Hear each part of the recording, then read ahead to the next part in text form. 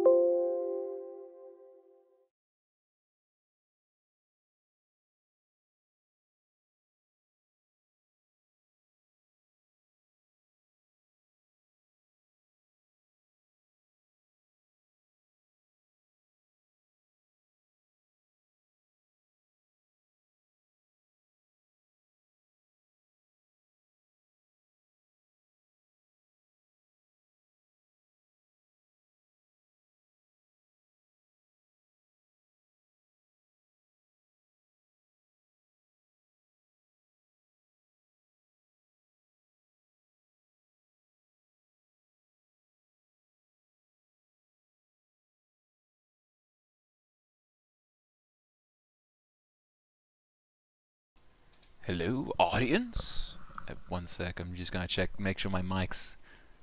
Okay, we've got the right one. Cool, okay. So welcome to our world building stream. Wow, could I have said that more awkwardly? So, the goal for today, as I promised in our D&D December announcement video, was we're going to stream at least twice this month. Um, maybe more, we'll see. Let's stick with what's possible. Um, first, we're going to start today by creating a starting town. Now, what I want to do with this stream is to try and do as much of it as I can using just randomized tables, which they provide a lot of in the DMG. So we've got, we just got to create one NPC for now, which will be our bad guy, and then in the process we'll also make a starting town. So we'll see how far we get. If we got to stretch this out into a second stream next week, then we can. Um, let's see how it goes. So, I'm going to... I don't have an overlay for this one, so it's going to be a little jank, but it'll be fine. So let's... Hey, not too bad. Uh, so what we're doing is you're welcome to follow along in your own DMG. I would have put a PDF of it up on the screen, but I feel like that's not all good with Wizards of the Coast. I feel like they probably won't look too kindly upon me just being like, ah yes, here's some pages of your published book. But we're starting on page 94, and we're going to find out what our bad guy's motivation is. So on our window here, we've got lovely webcam taking up a quarter of the screen. Good stuff. Uh, we've got our WordPad document and our dice roller, because I would have used physical dice, but I don't have a camera for that, so we're using Google Dice. Okay. So first, we're going to find out what our villain's goal is. So this is their scheme. And let's see. First we got to roll a d8 and determine what they want. Two. Alright, so I'm going to put these all into subheadings. Scheme. We don't even know who this villain is and what uh, and what their intention is. We're going to discover it. Maybe they'll be a vampire, maybe they won't be. Their goal is influence. So they're looking for, well, it's different to power, so let's see. Influence, and then there's a subheading. They want to, roll a d4, 4. They want to, interesting, hang on, they want to place a pawn in a position of power. This is actually quite interesting. I'll bring this up now because it's on the topic of world building stuff. Um, I'm read um well, reading is the wrong word. It's more listening because I'm on the audiobook of uh, Discworld, uh, the book Guards Guards where there is actually the villain of that narrative is doing this. Um, he's he's like trying to work with this secret scheming like cult to summon dragons so that he can supplant like so they can put his own king up on this like new throne of uh, Ankh Morpork. So basically, he wants to have like a Toadian position um, as king that he can just boss around, and he has ultimate power over. So that's our villain's goal. It's actually quite ordinary. Like, in comparison, we've got immortality, magic, mayhem, passion, power, revenge, wealth. But no, this guy is, I think, a more humanized villain. So his goal is a little bit more political. But what are his methods is an important question. So how is he going to get what he's how is he going to eh, place this pawn in a position of power? Let's find out. 13. So if you're following along, page 95 of the DMG, 13 is... Okay, how is he going to do it? Ladies and gentlemen, methods. This one doesn't even have a second roll. Neglect. I don't know how he's going to do that. He's going to get into a position of power by kind of doing nothing. Um, it's possible that maybe he's um, he, he, she, they, uh, this villain like for all we know, they already have a position of power, like as an advisor to the current king, monarch, sovereign, president. Um, and their goal and they their goal is they just won't act. Who knows? But our villain has a weakness. Let's find out what the villain's weakness is. Now this does not necessarily mean like, you know, crucifixes holy water. It could be something uh, more, uh, you know, more character flaw. Uh, we need a d8. A 1. Interesting. Okay. A hidden object holds the villain's soul. Okay. So that's curious. So it could be that this person has bargained away their soul with a devil. It could be that they're a lich. Yeah. This is something we can work with, so we can come back to that stuff later on once we have our location to play in. So let's find out. We need to scroll a bit through our book. Now that we have sort of a core idea of this character, we need to find the town. So, our settlement... So this is on page 112 of the Dungeon Master's Guide. So, we need to find out what is the deal with this town. So, random settlements. This, the following tables assume uh, allow you to quickly create a settlement. They assume you've already determined its size and basic form of government. We have not. So we're going to kind of create, you know, like roll up these stats, and not stats, but roll on these tables and see what we get. Maybe we'll decide it makes sense for it to be a very big, uh, big settlement, like a whole city, or maybe it's more of like a sort of outpost or like a crossroads. Um, as for its basic form of government, we can do a fair bit with that at this point. It could, with our villain scheme, we could go for something, you know, more traditionalist, like a monarchy. We could do a democracy, or we could even do like something more interesting, like a magocracy or a um, you know something more fantastical. This is a fantasy world after all. We can we can do whatever we want with this. Our villain could be a guy or a vampire or whatever we want. Uh, so let's see. What is first table race relations? So first up we have a four. So we start with race relations. So this is like what the humans think of the dwarves, and a 1 to 10 is harmony. So dwarves, elves, halflings, dragonborn, whatever we've got, living in peace. The ruler's status. So this will be interesting. This will kind of determine what our villain's doing and how neglect will get them what they want. So ruler's status. Okay. We need another d20. A 15. Okay. Our villain is a do dold is a doltish lout. Okay, so maybe public approval isn't very high. Maybe people look at this person and think, my, they're an idiot. Maybe the villain will get them killed just by doing nothing, and has already planned uh, for someone to step in.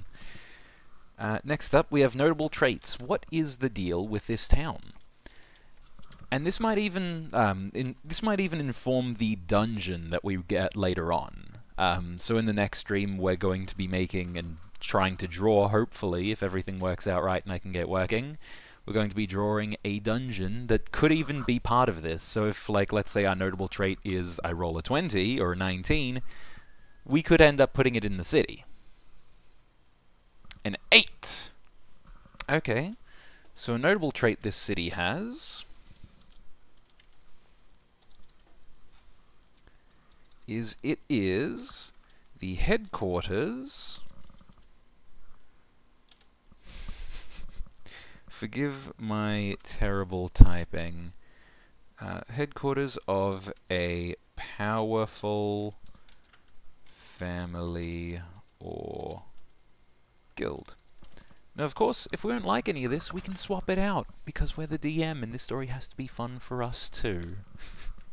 you know, we might decide that it is more interesting for, you know, a racial minority oppresses the majority, or for the ruling mon uh, for the ruler to be a feared tyrant. We might decide to change some of these.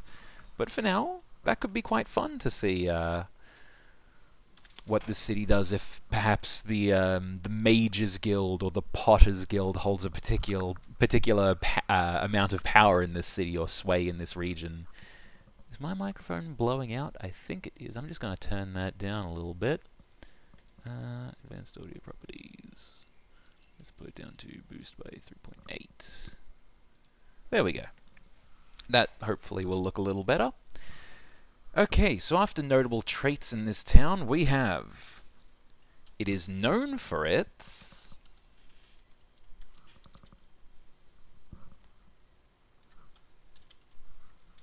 Another d20.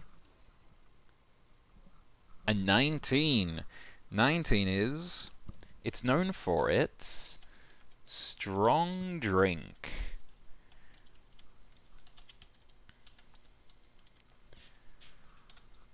People will travel far and wide to taste their... What's the name of, like, a really potent, like, spirit? What, what would be a cool fantasy name that we can come up for that? Once we have a town name, or even we can name the town after it. That could be interesting. Going to turn my audio down a little bit more so I don't keep blowing it out. There we go. It's on the fly. All my settings have been changed since I upgraded my computer. Fresh install of OBS. We're working from scratch. It's a wonder any of this works. Um, okay, so our current calamity. So what is going wrong with the city? What is the what could be giving the villain what they want? How can neglect get them what they want? You know, perhaps this is more of an anti-hero or anti-villain type character, where uh, by doing nothing, they might get what they want. That might be the intent. They might be a reluctant villain. So our current calamity is another d20. A 16. 16 on page 112 gives us interesting internal strife. Brackets leads to anarchy. Okay, so we're starting to paint a picture here.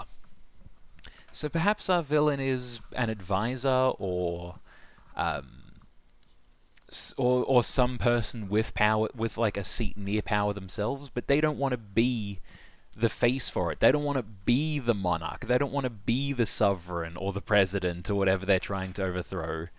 Their goal is to uh, is to place someone into that position and then be the puppet master. We could even play with a demon here. That could be fun.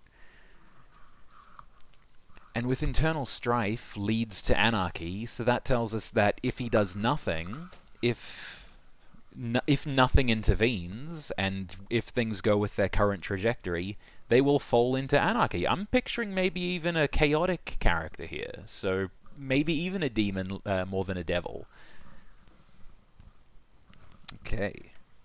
We have random buildings, so let's find why not? Let's make a building, and that might inform what this drink is. If let's let's roll up a tavern if if we don't get one. But first up, building type. Roll a d20. A seven. A seven is a residence. So let's go buildings. And so we have a residence. I do I do think a tavern would be a good idea. I think that would be a really good idea. If I'm looking off screen, it's because I have a second monitor here that's got my everything on it, so just follow along. Um, okay, so so we need a residence, so we roll on a residence table. So this is a good thing, this is a kind of table you can pull out for like, if you need to populate the space. So let's see, we have another d20, a 7. So our residence is a middle class home. So this might be an important building um, to our plot. perhaps some uh, something is important here, and we can find out what that is in our narrative. So we have a middle class home. Okay. So that's going to be of some import. Let's give it another. So, I want a tavern. Just because this place is known for its strong drink, I want a place that serves that drink. Uh, tavern, so let's roll another d20. 13. This important tavern is an upper, upper class dining hub. And now what is this upper class dining hub called? Once again, d20. We roll two d20s here, so the first part is the laughing. The laughing, the d20. 12. The laughing spirit. Okay.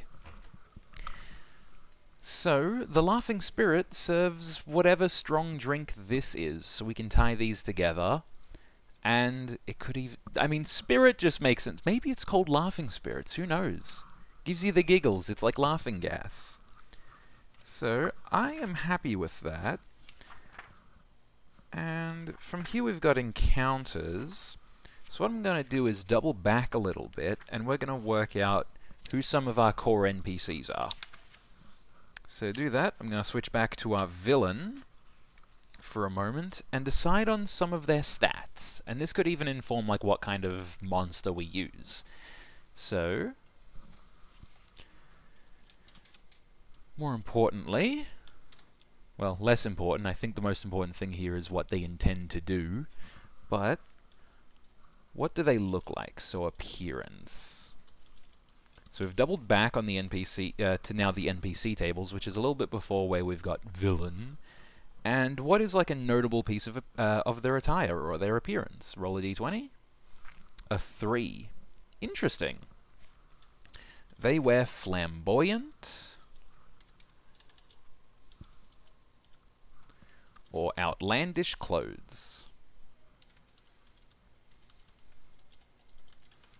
So I'm starting to picture maybe they are a um they are some someone like well-to-do. They are a member of high society, or perhaps I have a character in a friend's game who is a member of very low society, who is like grown uh, a sort of dwarvish uh, swashbuckler character who has very much grown up in in like the bottom rung of society and grown up very poor. So he dresses very uh, ostentatiously and flamboyantly in bright purple colors um, with like sort of trinkets and medallions all over himself, and like really tries to draw attention.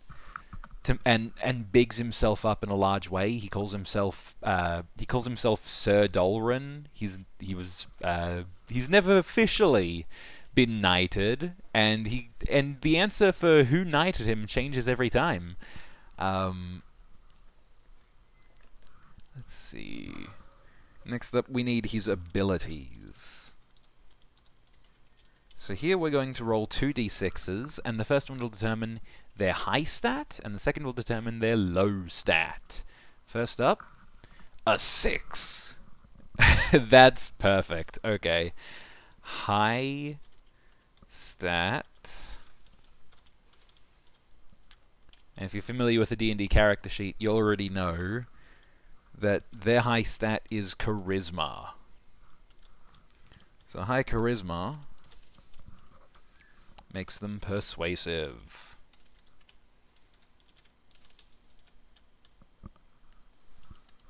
Forceful. A born leader. Okay. Now they're low stat.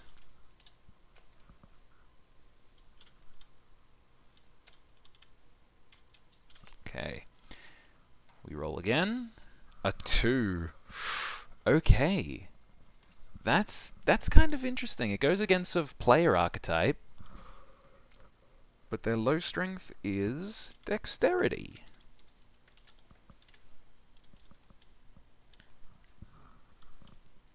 Low dexterity makes them clumsy, fumbling. I have a paladin who's got a very low dex, and that manifests in the way that he is uh, he's like he's a high strength, high charisma character, but he's prone to picking up things and breaking them. Um, he tends to pick up. He uh, he's he's a bit of a like uh, he's got a criminal background and uh, tends to accidentally, I, I, do mean accidentally, steal things. He'll pick up small trinkets and then just pocket them unknowingly. He just kind of takes things, and because he's a big, high charisma, high strength, menacing guy, sometimes he doesn't notice he's stealing things and people don't follow up on it. So it's just kind of this uh, trait he has where he just slides things off desks. Maybe this character is prone to breaking things. Maybe they're prone to just knocking things over as, um, you know, has like a very strong force of personality, but tends to like fall over themselves. You know, maybe that's why they want to uh, be, you know, lead, have a pawn in a position of power, but not be the leader. You know, why they want to have someone in that position of power instead of them. Maybe they think they can persuade Huh? See? Persuade that person into, you know, doing what they want, but without actually taking the limelight and embarrassing themselves. They could even be a high-strength character. Like, they could... Charisma is their highest stat. I'm just going to roll a d20 anyway. Nope. It's another... Okay. Yeah, it could even just be that you know, charisma is their highest, but they still have other stats that can be high and low. So we can make them very highly intelligent or just, you know, good intelligence, provided we lean on the fact that their most powerful ability is their charisma. So if we want to make this person even a spellcaster, we could. We could make them a sorcerer, we can make them a paladin, we could make them a warlock. I think a warlock could be interesting. I always kind of like warlock villains. But let's continue on. So I'm going to do one of these little numbers, because these are the secondary field. This is what they want. This is who they are.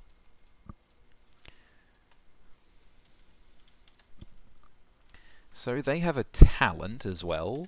So what is a thing this person is good at? This is a d20.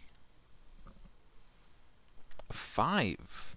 Oh, curious. This person is great with animals. Maybe even... Ooh, I'm thinking of my Waterdeep campaign now, where you've got... Uh, there's a couple of, like, noble houses with collections of exotic animals. Like, you've got, a, you know, a family that catches monsters. You've got a group that, um, that trains griffins. So maybe this person has, like, a griffin. You know? Maybe there's some sort of, like, fantasy Joe Exotic. Alright, mannerisms. So this is more something for those at the table trying to play this character. I'm going to roll another d20. You know, something you can fall back into. Interesting. You, I say that a lot today. Interesting is the word of the day. But it's fun. Like, rolling on random tables, you can get some really cool and unexpected things happen. You know, like you can pick, you know, if you just pick the last entry on every table, you'll probably even wind up with an even crazier character. Like some of these times, especially when we get to um, the dungeon, you'll see like 20 means the dungeon is on the back of a titan or something like that. There's some crazy stuff out there. So if you want to pick like, what if this character is one in every table? What happens? So this character, what was it, 10? Uses colorful oats. With, with a U, because, hello, I am not American like the printer. Use colorful oats and exclamations. By Moradin's beard!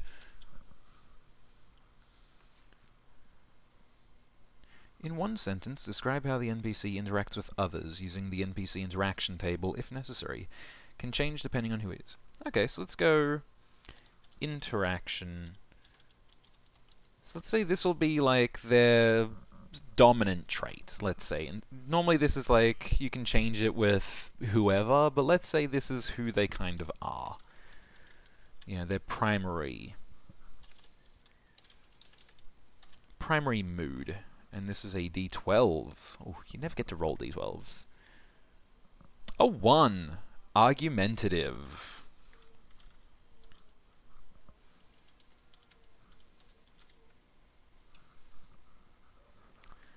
Useful knowledge. In, in a sentence, describe one bit of knowledge the NPC possesses that might be of use to the player characters.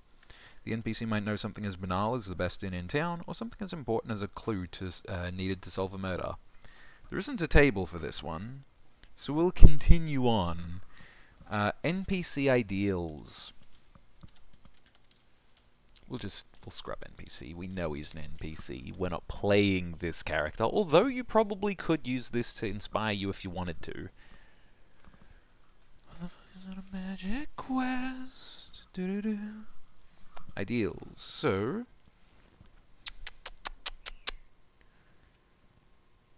Hmm. We already determined that they are... Well, no, we didn't really determine that they're chaotic, did we? This is kind of where we might have to start making a few decisions. So I kind of think... So we can choose a good ideal, an evil ideal, lawful ideal, chaotic, neutral, or just other. Um, I'm going to roll once on evil and see what we get. Six. Their evil ideal is slaughter. I'm gonna roll it. Uh, I'm gonna roll another, and see what we get for chaotic. Four. Independence. You know what? I'm gonna go with the chaotic one on that.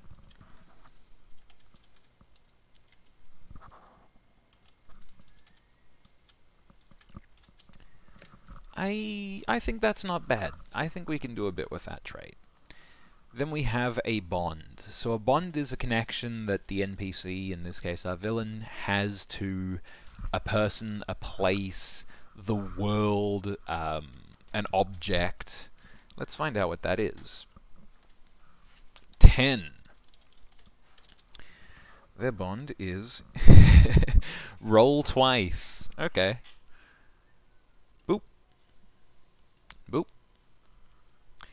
So they have two bonds. Their first, we'll put these like as a sort of order of importance. Forested Druid. Hello, for, uh, Forested Druid. I'm doing good. A little bit sick, so hopefully that doesn't come through, but other than that, I'm doing good. How are you?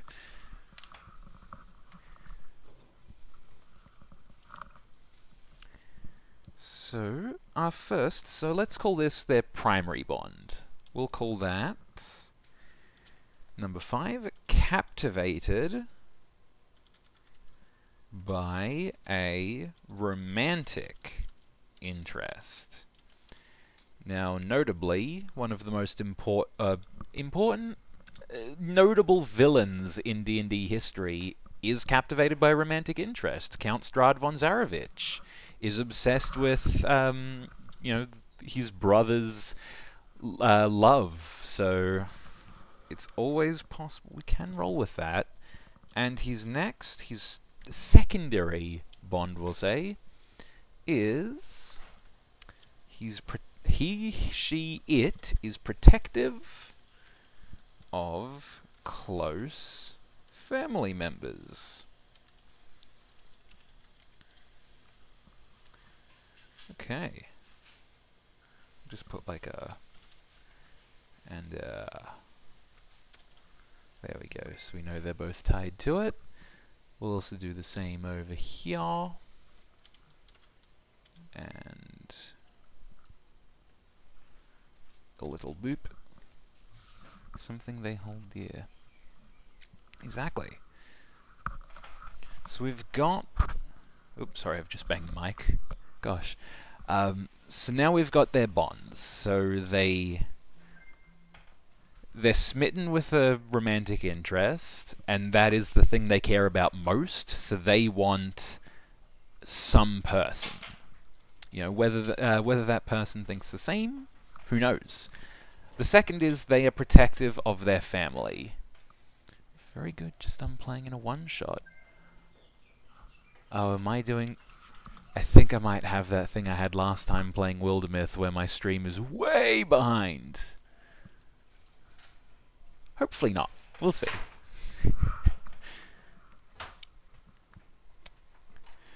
so they're protective of close family members. It's also possible that they are this powerful family or guild. It's, maybe they already have quite a lot of sway in the city.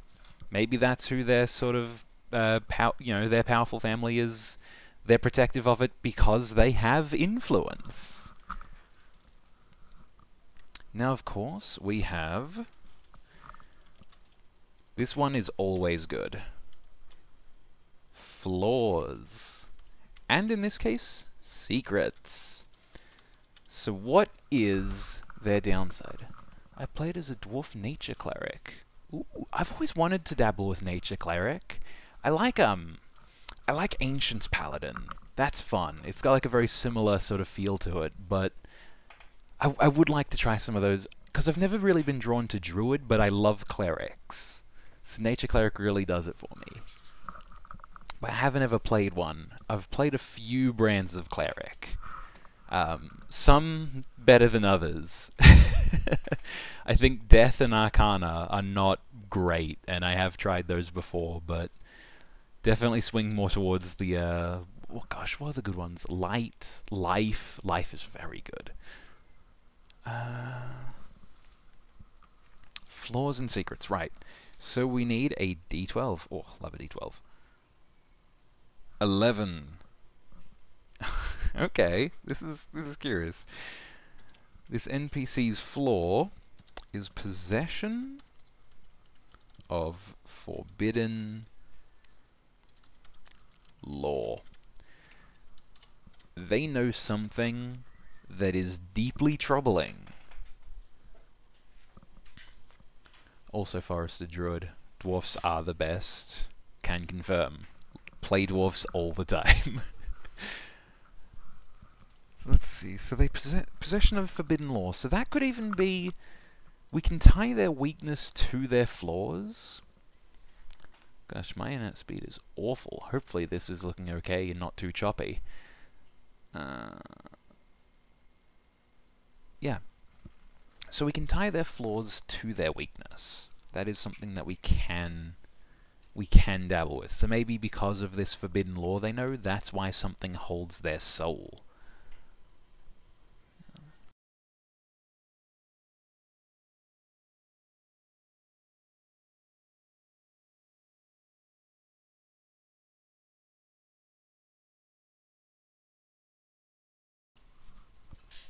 A villain who is very protective of their family. Now I know how to mess with them.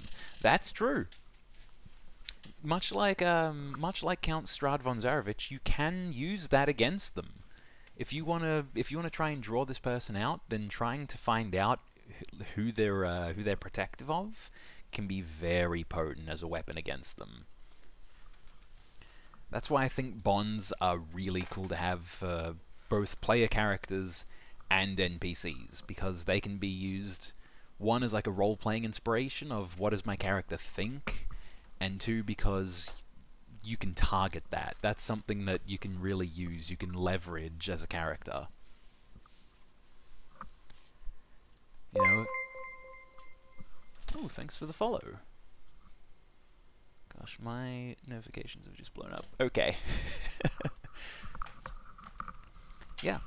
Like if if their bond, in the case of uh, one of the wizards, have been uh, one of the wizards, the uh, the wizard character I play in a friend's game at the moment, They have a lot of interest in knowledge. They think that the most important thing there is is preservation of knowledge and arcane lore and esoterica. So an easy way to keep them... Hey, follow back. I will after the stream, of course. Um, so one of the ways that you know you could play against her is is is to just be like, okay, you know this. Uh, well, I don't even know what I'm saying. Like, uh, I think the one because that's in a um, Baldur's Gate campaign, um, and the one sort of infernal pact she's taken is to gain more knowledge and to gain more uh, sort of you know information. She thinks information is a power in itself. So we've got using monsters as NPCs. That's talking about things like a Xanathar type character. But I think this works well as a human, uh, not, not, specifically human, but a humanoid character. Um, not so much. Earlier on, I was thinking, oh, maybe it's a demon in, you know, in in maybe disguise. But no, I'm thinking this is very much a person. The question is what kind? Let's see. I think Xanathar's Guide might have some stuff on how to we can get further into this. It'd be a shame if your brother died falling off a cliff. okay, now I'm getting some stuff about this forested druid. ah, so that's how it's going to be, huh? Go for the family.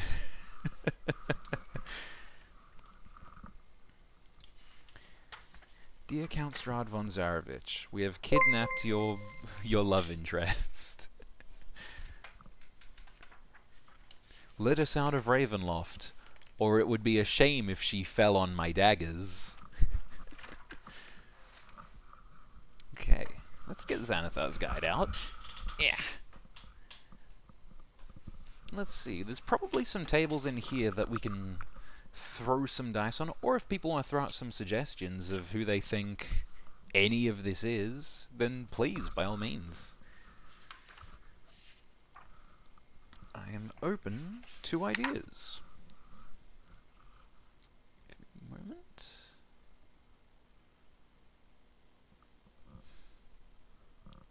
Ooh. Okay, so let's see we need character options. This is your life. We've got character names we can roll on. So let's see if there's ideas we can work with here.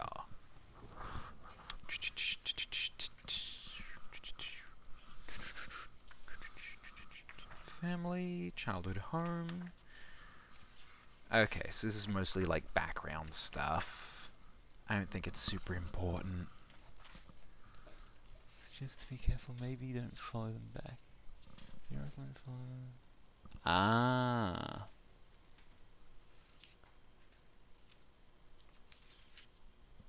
Thank you, Forested Druid. I will keep that in mind.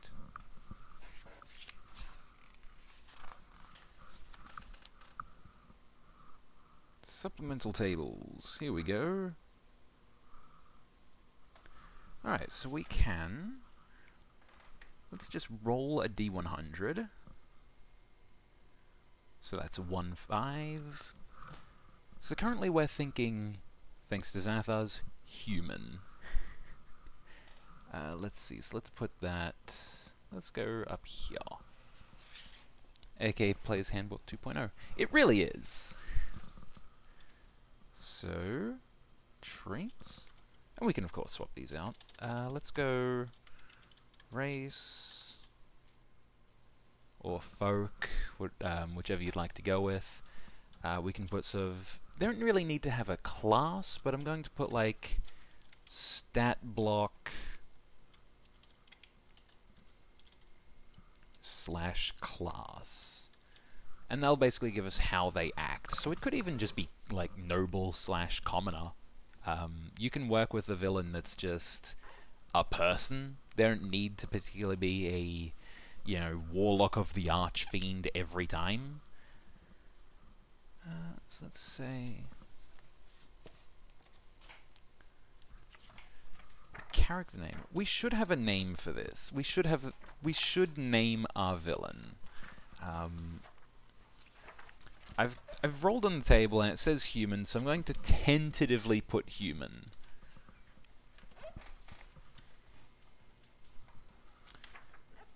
And I'm going to flip to the back of good old Player's Handbook. Sylvana. Sylvana's a good name.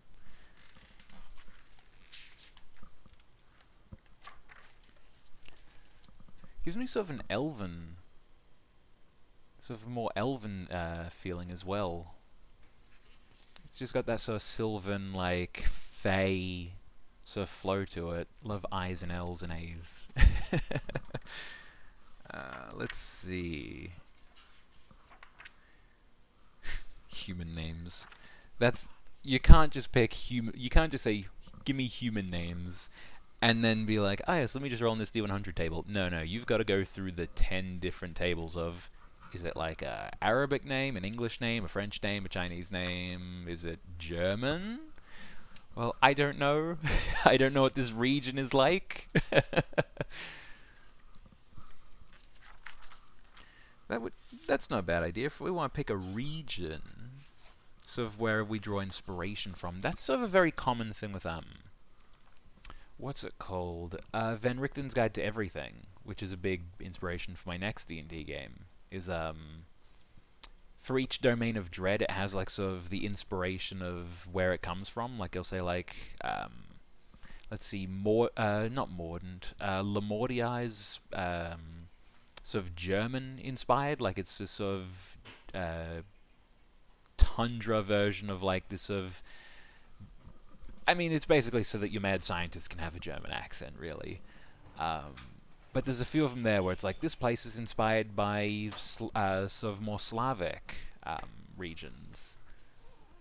Look, my GF is quite the dishonorable type. She's not above using underhanded tactics, so her influence already grow on me.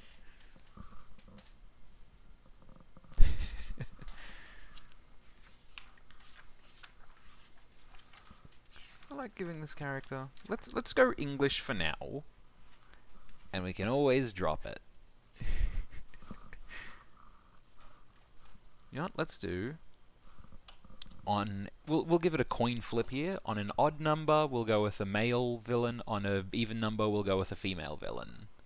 Let's roll a d20. Odd. Okay, so we'll pick from the male names. I'm just gonna go English because I'll be able to pronounce every English name, and it will just work. we need a D100 again. Uh, okay, yeah, 1-1. Uh, 11 is... English... Bernard. Our villain's name is Bernard. Oh, alright. Bernie, our bad guy. Alright. Uh, English, do we have last names? We don't. Okay. Oh, if we just roll another D100 and then see what happens. 54. Lance. Lance? Nah, Lance is more of a first name, really. What about female names? 54, was it? Helen. Also a very first name. Okay. Well, Bernard. Gosh, alright. I'm I, feel like throwing another dice on the table just to see what happens. Uh, wow, Drogo is cool, but that's just Game of Thrones, right? Like that's too cool. Of, that's too cool of a name. You can't give a you can't give like a clumsy, weaselly person the name Drogo. It's too cool. Not having it. I mean, I don't know if they're really Weasley, but I'm getting the image that this could be like the kind of villain that's just. I I recently just uh, finished um, running a Waterdeep Dragon Heist game where my villain is the Cassalanters, and yeah, they're like not weak characters, but the the idea behind them, the intent is that you treat them as you treat them not like Victoro is a high priest of Asmodeus or whatever, where yeah he's a dangerous stat block, but his most threatening ability is that he is a person in a position of power. He has money, he has wealth, um, he has influence over the tiers of society. Um, you know, your biggest fear with him isn't that you'll pick a fight with the guy. It's that if you do try to hit him, he'll call, he'll inform the guards. He'll tell the city watch, and they'll put you to death for for attacking a nobleman, because he's gonna like use his power to corrupt the legal system and just really crack down on you.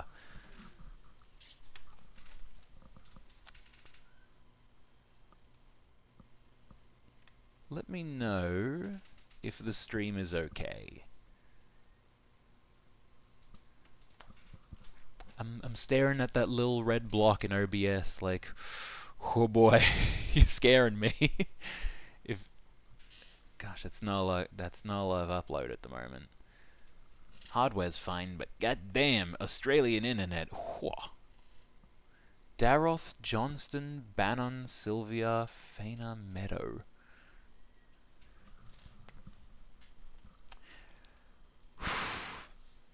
Daroth Johnson, Baronin, they're good. Sil what is it, Sylvia? You know what? I I'm not against. I'm gonna Forest of Druid. You've given me a good idea. I'm gonna copy your message there, of those names, and I'm gonna go protective of close family members. Let's go give it to you. And that's their family. So that's who we've got to. That's who we've got to work with. That's who they're protective of. Um, heck, even we've got one, two, three, four, five, six. We've got six people. I'm going to roll d6, and whichever one I roll will be their love interest. Four. So, Sylvia, congratulations. You're now the most important one. Boop. There we go.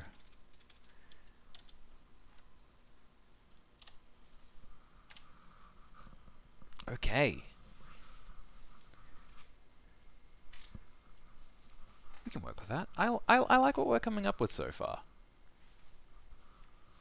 So now our villain Bernard. I'm, I'm not going to get over it, but you know what? It's kind of unsuspecting.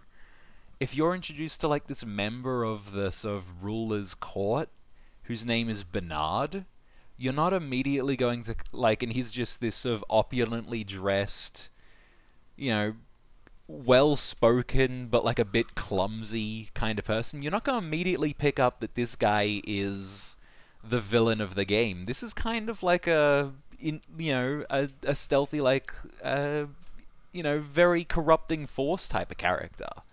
And i quite i quite like that. This could be fun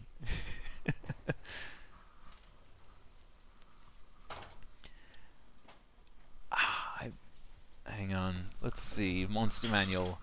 Alright. We know that they're high in charisma and low index. So I'm going to take a look at the NPCs in Appendix B, B of the Monster Manual. I'm going to see if any of the, if any of these things fit the bill. Um, and we can just pull from one and stick it in the other. Uh, acolytes? They're higher wisdom, so they're going to be a no. Bernarda. See, that's what I want, though.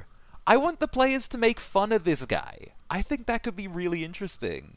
I think that would be really fun. I, th I think if they meet this character and they're like, Bernie, Bernarda, more like Burner stupid, and I think that's going to immediately, like, you know, the twist of, oh no, this one's been behind the whole evil plot the entire time, will be really cool. I like that. I think that could be really, really cool. You know, or that's sort of always the last one you expect type of deal. Let's see. So Acolyte is a no. I don't think they're a clerical person. I don't think Bernard is a is particularly wise. He might be wise. I think wisdom should be a good uh, a stat he's got maybe slightly better than average. That or intelligence. Archmages, not really. Assassins are really dexy, so he's not going to be an assassin type character. Bandits, no, I don't think the bandit stat block really works. This person doesn't strike me as a fighter. Commoner, commoner's fine. I think it should at least be slightly more than a 4 hit point, like, dead. At least a noble. Uh, cultists. Okay, so the cult fanatic could be a good option. So if they do have some sort of magical powers, but maybe they don't have magic. I'm I'm just going through this book and just spitballing, but maybe they do or maybe they don't. Um, but cult fanatic kind of works. If we're going for a low tier character, then that's something we can work with. Once again, druid, don't think so. Gladiators are stronger you know, if he's a particularly well, like, well-refined, quite, uh, quite muscular, like, well-trained person, I kind of don't think so. Guards, knights. Knights kind of fit. They've got um, low dex and high charisma. It's not their primary stat, but I don't really think any of the NP uh, the NPC stats in the Monster Manual are high charisma classes. Um, which is not hard. We can always swap that around. It's not hard to just go mage, sorcerer, and just flip his charisma and intelligence. Easy. So that's an option. Nobles? Nobles fit. Priest, once again, don't think so. Scout, Spy, Spies are also high dex, but they are high charisma. Thug, Tribal Warrior, Veteran. Veterans are just like knights. I'm going to just write, at the moment, Noble. Yes, I have spelled that right. I had to double check, to double guess myself. So a human noble. Let's just save this. Good, you can't see it. Okay save it as villain and starting town. Not a magic. There we go. Okay.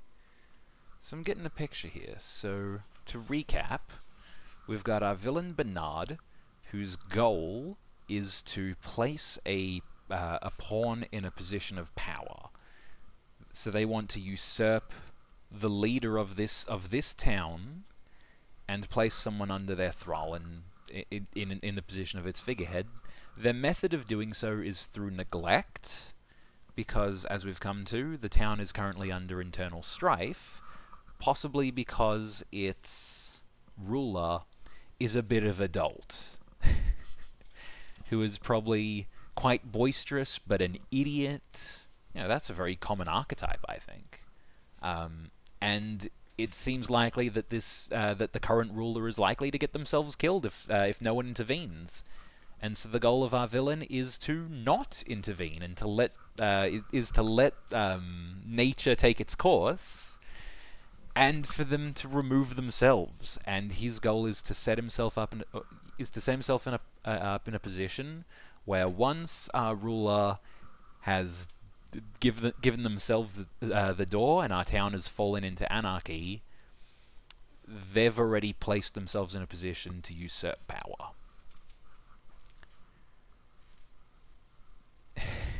We're coming up with something here. We're cooking with gas. This is cool. So we know that they're a human we know that they're of not specifically noble ruling class, but they are of some import.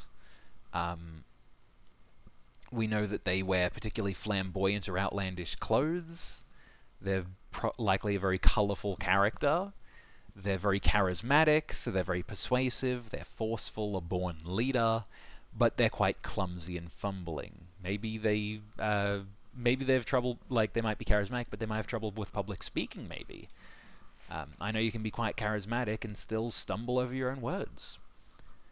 They're great with animals, which is like, I feel like that's quite a little quirk in there. I'm not sure how well that ties into our narrative, but maybe they just really like dogs. That's entirely possible. You know, it could be something fantastical like they train hippogriffs or they ride griffins or or owl bears, but it could be something as small as he really likes ferrets. um, his mannerisms uses colorful oaths and exclamations. Maybe in uh, you know in in speeches often might uh, use like metaphor or um, or simile, or might call on like he might be really good at using like image of the gods and such to try and um, present an idea. He might just curse with like incredible, powerful exclamations, you know. Very argumentative though, so I I can picture that. That make that just makes sense. So they're willing to push their argument um, very strongly. They will like they're they're the kind of person who will argue until they've won the argument. It's not about um, reaching. It's not about reaching an accord. It's about pushing through and convincing them. They are captivated by a romantic interest who is named Sylvia. Um, and that is the thing they consider most important to them. Number one, their goal is they want to uh, attain power. Two, and maybe even the thing that might uh, these might compete with each other, and it could be a balancing act for this character. Is this captivation with a romantic interest, whether that's returned or not, is yet to be seen. And and on top of that, they're protective of a close of their very close family members. So Daroth, Johnston, Bannon, Fe uh, Faina, and Meadow are perhaps like father, mother, brother, son, uh, or whatever, uh, sister. So, or, or even like it could it could be a detached family, like uh, sort of. Um, you know, cousins or something like that. It could be, you know, something removed. But regardless, these people are uh, important and they will protect them. So their goal, uh, so one of their goals is to make sure that no one interferes with their family and no one in their family gets hurt. Or perhaps it's about preserving their um, their lineage and their legacy. So maybe they, maybe this uh, romantic interest is someone uh, they're very close to, um, maybe they maybe they have children, and as a result, their goal is like like uh, what I was talking about with the Cassalanters and Waterdeep Dragon Heist. Their goal is to protect their lineage. Their goal is to make sure that nothing happens to their children, um, and that the sort of their last name and their like the, their sort of um, their legacy and empire lives on. But an important thing to remember is always their flaws, and in this case, this person possesses a terrible secret, which is that they're in possession of forbidden lore. They know something they should not. They... On top of that, a hidden object holds the villain's soul. So... Hmm, I think those two are tied together. I think flaws and weaknesses are kind of one and the same where flaws tend to be like a sort of character weakness.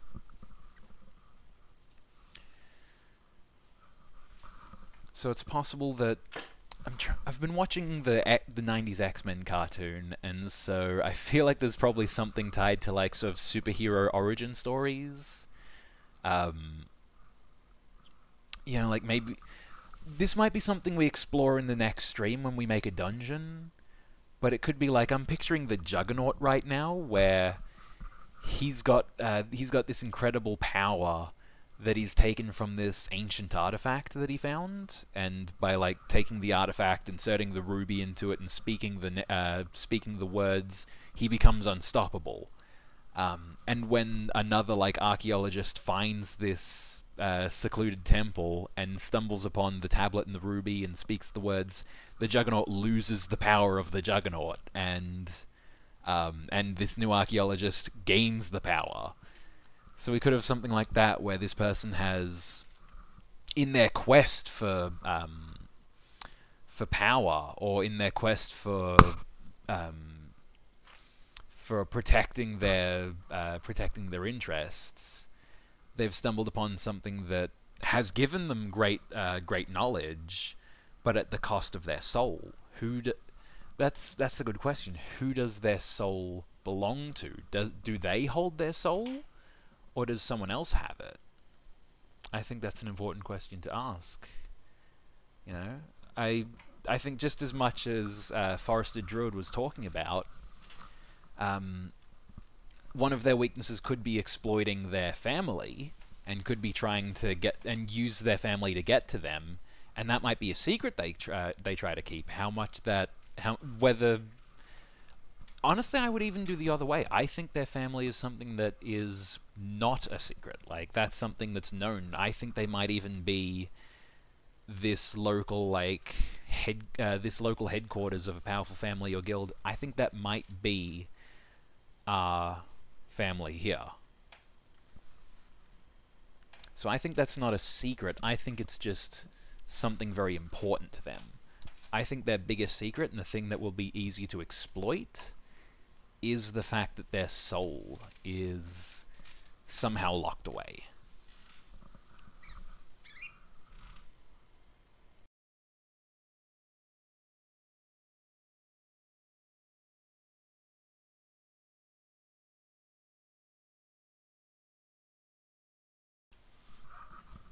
Interesting. I'm liking what I'm picking up here.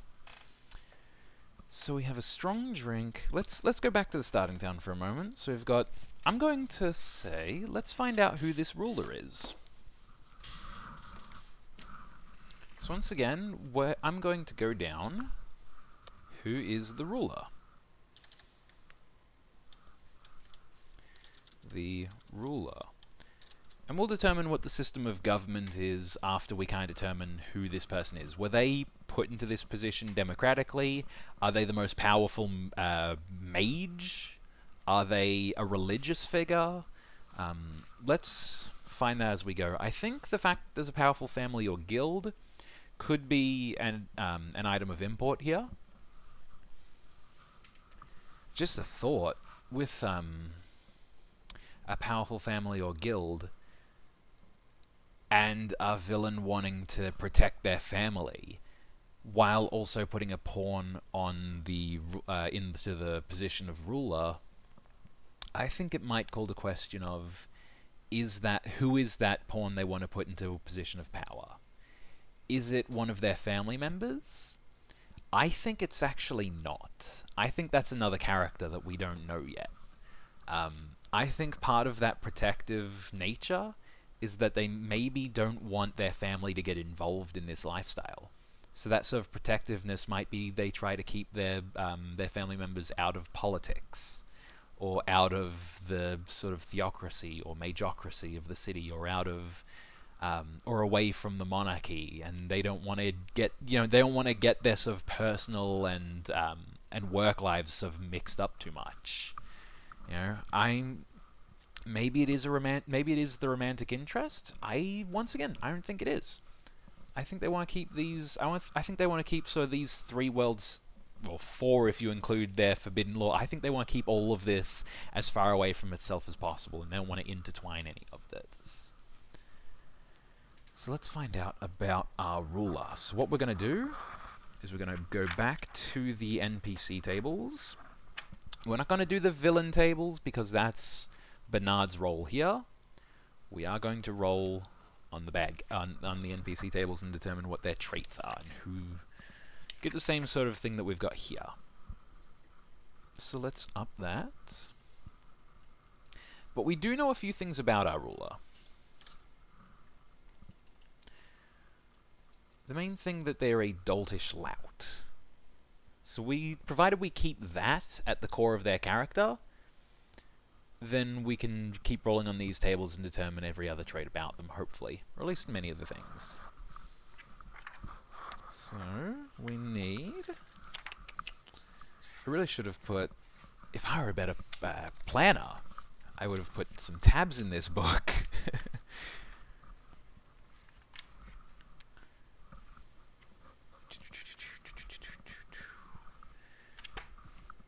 so I could find these tables easier, but we're pretty close. It's after...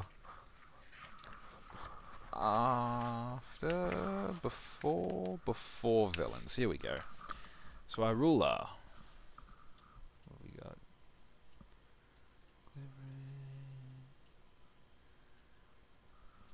Alright, so... First up, we need a d20. Distinguishing characteristics. They have an un... Okay, they have an unusual ski uh, skin color.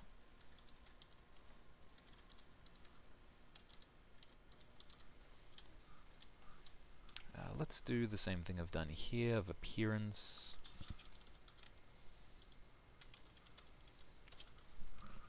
So maybe they're like, hmm, what could an unusual skin color lend to? We'll have to see. They might not even be...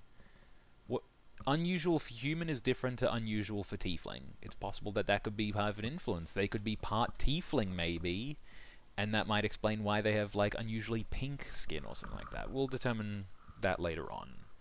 But we know that that's something they have. Which I think maybe we might even change that. Just because eh, it's once again we know that we have harmony between the different um, the different folk of this town. So we know that there's not like animosity towards tieflings or goblins or whatever. So perhaps we might drop that because I feel like if that were if there were a different thing here, that might cause I don't know. That might just rub people the wrong way. You know, like, oh, well, the tieflings, the humans don't like the tieflings, but this person might be part tiefling. But that's not really a thing we can really weaponize here. But let's continue on. So we know they have abilities. And when we say abilities in high and low, in the case of like a commoner or a noble, it might be a variance of like one or two. Um, just enough that it's a notable feature. It doesn't mean they're an 18 in charisma, which I think for Bernard it might be like at least a 16, um, and like an 8 for dexterity. PC level kind of stuff. You know, you don't really have that much more swing than that at a like first level character. Um, and I think this is quite a low level town. I think this is a very low level encounter. I think this isn't a super high tier problem. I think this is a sort of more political and intrigue game that we're sort of building up here at the moment. So, our NPC, our ruler of this location, he has a high charisma. so, high stat.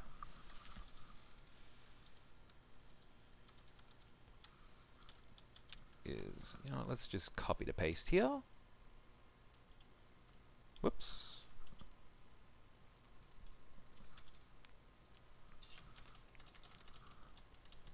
So they're also high charisma. It's a battle of the charisma casters. Not really because we're not using casters, but you get the point. And they're low stat.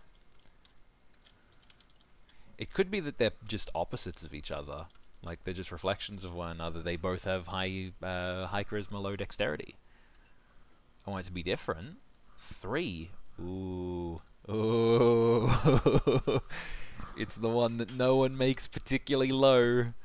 It's not Von. Constitution. So low constitution. This could actually be part of why their skin color is unusual, honestly. A low constitution tends to mean that you are sickly and pale. Perhaps they've got like a slight yellowy greeny tint to their skin, like this sort of pallid um, sickly expression, like they're always sort of a bit, maybe they're a bit, uh, have that sort of like jaundiced look about them. Um, maybe, maybe that's part of what our villain can leverage. Maybe they look ill. Maybe they're, maybe they are sick all the time, and it's this sort of known thing that uh, uh that the ruler is uh, potentially like, oh, he's he's always sick. Is he on death's door? We don't know. Like that's the sort of thing for historical rulers to have had a lot, where like you know, um, where, well, yeah, where an heir would step into a position and they would be often ill or anemic or like um, not particularly strong.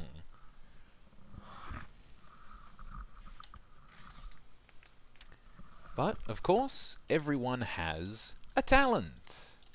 Not a talent. A talent. What is the ruler good at? Nine. oh, okay. That's fun. They're great at impressions. Once again, not sure if the talent is super tied into the narrative we're telling, you know, it would have been a whole different story if they were a skilled actor and master of disguise. But nope. They're great at impressions or impersonations. Sickly, always in bed, but man, he does a great impression. Have you seen his Bernard impression? Oh, it's bloody good, in it? He sounds just like you, Bernard. And of course, he has mannerisms. Uh, another d20, of course. A 19. Ooh. Not an uncommon one here. They bite their fingernails.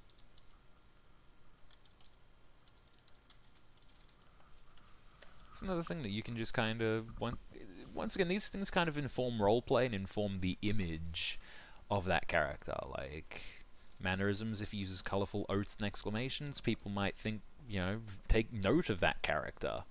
You know if they shout an exclamation by Moradin's beard. You know, it paints a picture of this very like flamboyant, ostentatious character that at the same time is a bit of a klutz.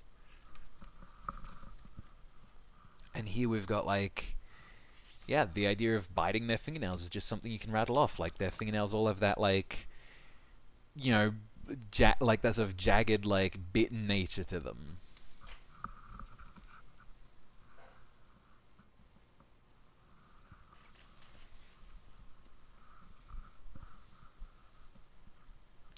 Just tap down a little bit. There we go, so we can just see what's going on. Okay, interactions with others. So let's put interaction traits.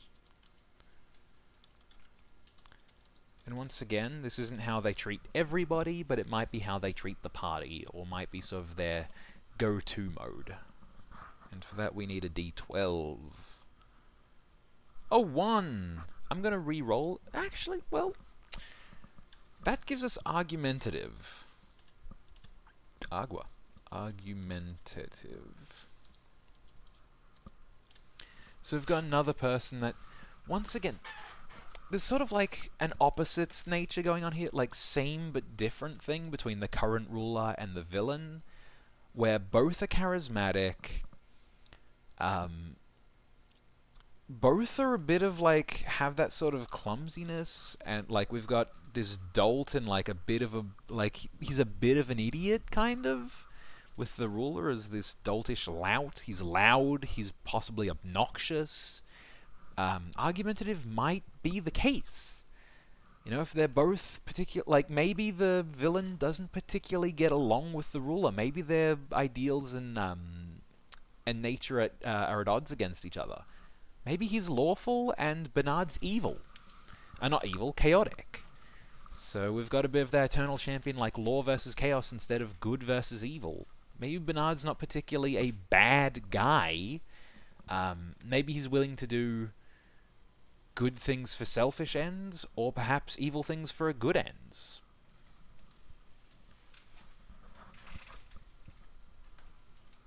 Let's see. His ideals. I think his ideal is independence and is a chaotic ideal. I think our ruler should flip it.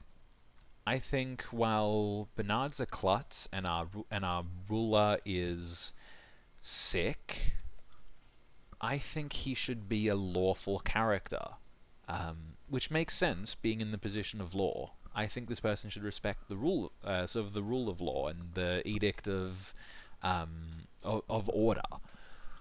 Uh, so let's go. They have lawful ideal and a d6. A 1. Their ideal, and I'm going to put lawful in brackets, but their ideal is community. Just one word that kind of tells you a little bit about what they what they aspire for. Um, so in this case, community.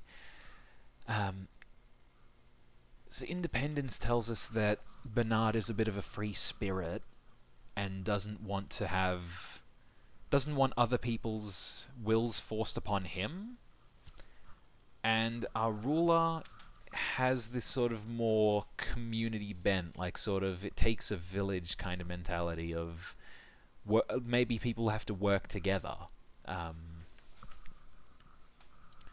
it's it's just different forms of government. We're create. I didn't think we'd get a uh, political intrigue going on. I thought this was going to wind up being like, ah yes, our villain is a vampire who lives on the castle on the hill. No, we're we're getting like this sort of just diplomatic incident. Um, I think that's fun. I think that I think that's new and exciting.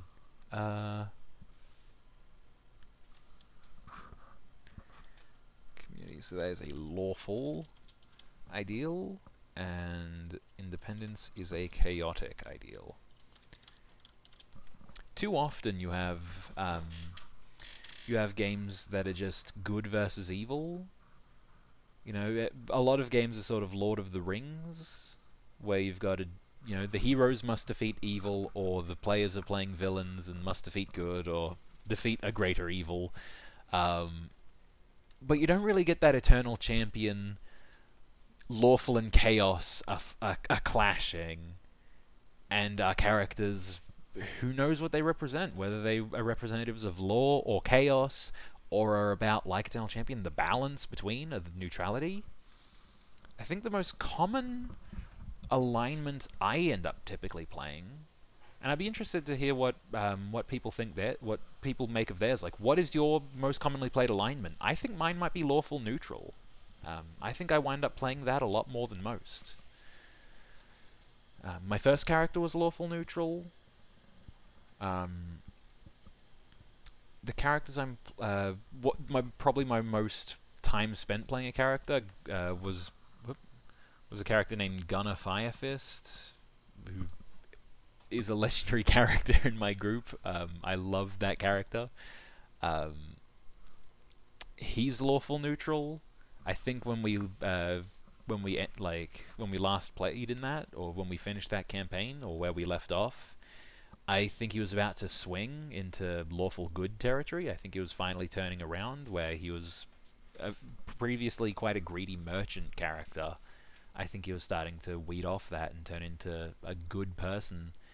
Um, in my current games that I'm pl a player in, I've got my wizard Evelina, who's neutral, um, just uh, middle of the road, neither lawful nor chaotic, nor evil nor good. Um, and I I put like on when I pitched this character to the dungeon master, I wrote a uh, I wrote a line from the book A Thousand uh, from the book Thousand Sons, and I just said, uh, I I think my pitch to that for that character was, the only good is knowledge, and the only evil is ignorance, and that's sort of my influence for that character, where um, where she knows that good and evil are tangible physical things, like in hell, de devils are made of evil, physical, actual evil. But for a person, on a personal level, I think she believes that the ignorant are are sort of the are, are sort of a more pressing form of evil, like a more societal evil, and that preservation of knowledge is the most important thing.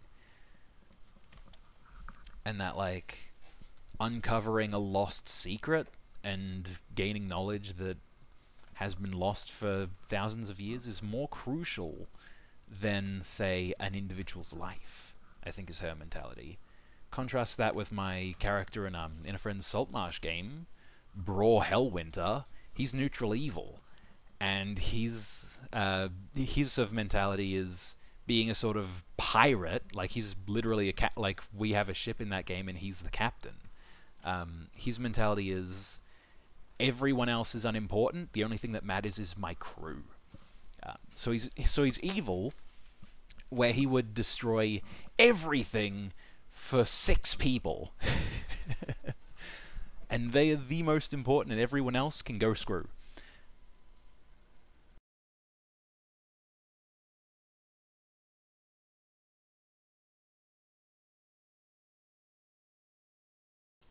Hey, Jeremy. Welcome. OMG. You are right, OMG. We're, we're building a town. We're building people. This ruler feels more like a jester. He He's a bit of a clown. He's a doltish lout. He's loud, probably a bit obnoxious, boisterous, some might say. It's possibly like he's upside, like that might be uh, why he's got this position of people thought he was funny. Who knows? You know, strange things have happened in the world of politics.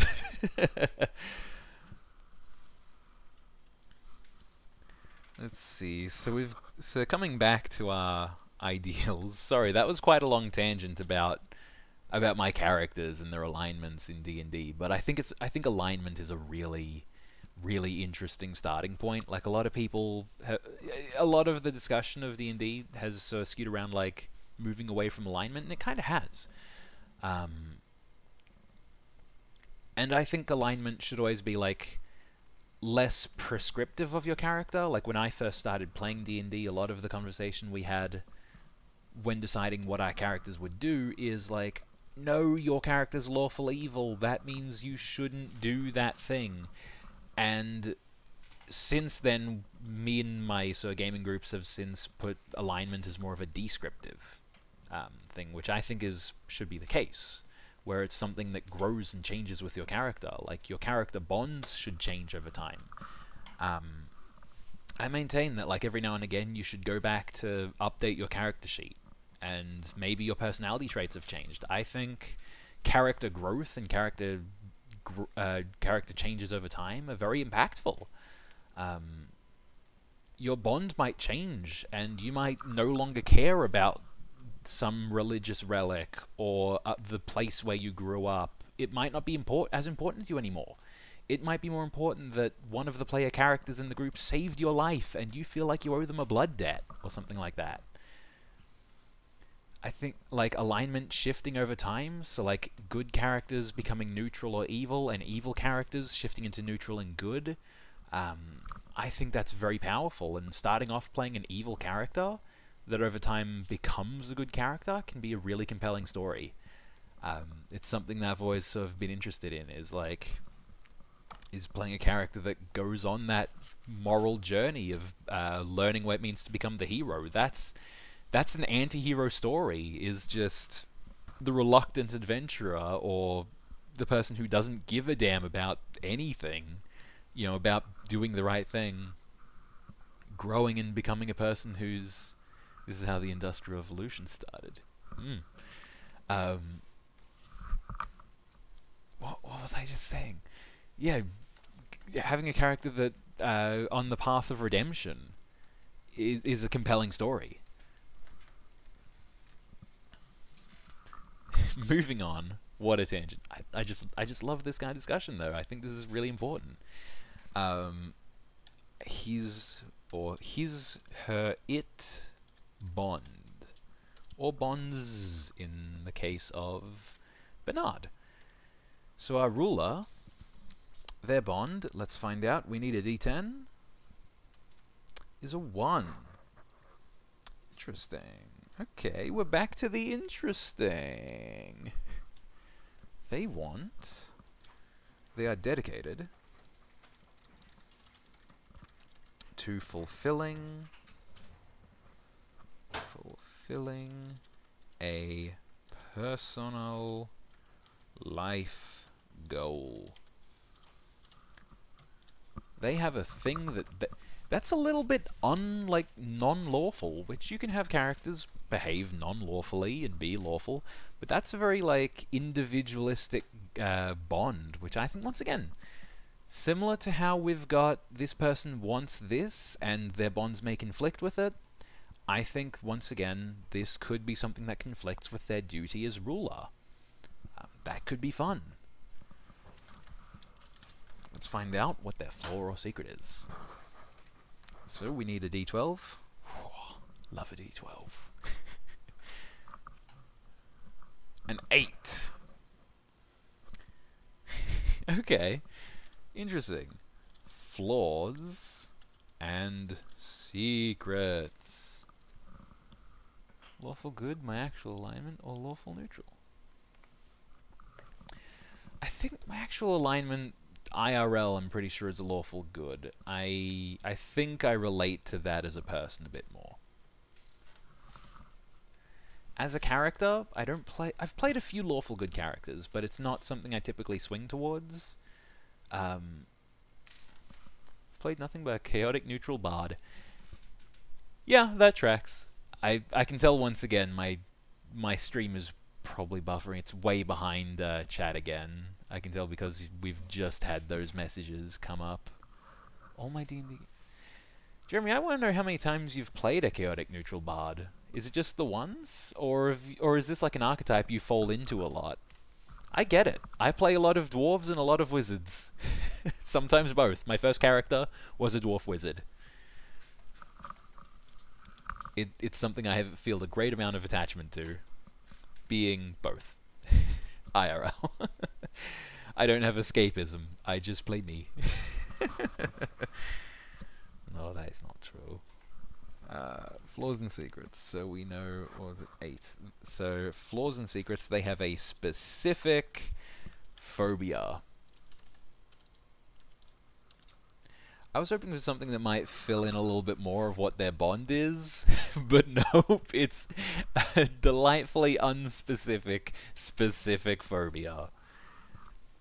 So, I I throw out there for 10 minutes from now when the chat catches up, let me know. God, I need I need to sort that out. Um, I had it fixed last stream, but once again I've changed my settings. So nah, I have no idea what's going down. Um, but let me throw out a, a very specific phobia, and that'll be what a ruler has. Whether it's arachnophobia, or a fear of heights, or maybe something relevant. You know, like something that might occur in a in this uh, fantasy land. So maybe it is arachnophobia. Um, you know, that would be awful if this person encountered uh, encountered like a, a conflict with the drow. Um, terrifying. They use spiders in war all the time. Um, maybe it is. Maybe it's a fear of the sea, or I don't know. I, I like coastal towns, but we can throw that away. Fear of flying. If our um, if our villain Bernard here is in fact a Griffin Rider, he could use that. He could be. He could exploit that weakness. Who knows? And once again, I think I'm going to put there. So race and stat block. How do I write here? With a hyphen, really? Okay. Stat block slash class. I think for the for our ruler, no class, no player class. I think I'll just give them nobles so they can survive being hit once with a cleaver. but if an assassin gets them, they're got. There are better... I should have brought out some more books here. Um, if I'd gotten Volo Volo's Guide to Monsters and um, uh, Mordenkainen's Tome of Foes have a lot more like NPC stat blocks, and I should have brought those books out just to flip through. Um, but they've got things like war clerics, champion, uh, yeah, champions, warlords, which I think might be a little too high tier for this. Once again, I'm thinking this one is quite political. It's low tier. I think this might take place in a decent-sized city. Um, maybe maybe even Waterdeep sized, like big, a city, not just a settlement. Um, this could even be an urban campaign. When we get to our next stream and find out what the dungeon's going to be, um, it could be that it's that the dungeon that we use, like this uh, first adventure for our players, might be a sewer or a ruin under the city. Maybe this city is built on top of another city, and we'll discover that later down the track. Um, I, think that could I think that could be really cool. Or we might leave the city and go into the wilderness, and maybe that's part of. You know, I don't think we'll learn everything about these characters today. In fact, I think we might even be wrapping up soon now that we've got these core concepts down. I want a name for our no uh, for our noble, um, and I think I want to I think I want to figure out the identity of one more NPC, which is who is Bernard using to put on uh, to put into this position of power. I think those are our things we need to get down today. And then next stream we'll find out what um, what is going to be the nature of our adventure. So we're going to figure out. It, this might even take another. This might even take three streams in total. So it might be that next stream we find our uh, we find out what our dungeon is and let that inform what's going on um, and where the players are going to go. And then we have another stream to sort of flush out more of who the key players are and what the adventure structure might be. We do actually have more tables, more random tables in the DMG to figure out how this plot is going to manifest and what our inciting incident might be. So that could be like, what is session one? So I think let's make one more. In fact, let's give this, let's figure out who this character is first off. Let's get the ruler and let's figure out uh, we have a table in here somewhere if we just go far enough. It's after the sorceress origins and after all the stuff about your character. It's somewhere in here now. Here we go. So, this person, a supplemental table, the ruler, we know he's lawful, and we know, and we'll now know what race. Six six. it it's not a devil. Um, it's not the number of the beast. It is a halfling. A sickly little halfling. Status dead. no, they're very much alive right now. They won't be in the future. And now, so I mean, we have a halfling, so let's go for the halfling names table. Easy. Um, let's find out. I'll do the same thing. Uh, odds for a male character, evens for a female name. Like that's of uh, name will go. So once again, another male, uh, another male halfling character. So we'll go for the halfling male table in Xanathar's Guide to Everything. Plug plug. It's the only thing I play. Hey, if you find your niche, if you find a character type that you love, play it. A friend of mine really loves Paladin, and every time he plays something that isn't Paladin, he wishes he just played a paladin. like that that's just how it be. Like if you really like that thing where you're like, yeah, I love a high charisma ca uh, character and you know, this support abilities and magical secrets is just the thing I get, then Bard kick Bard's awesome.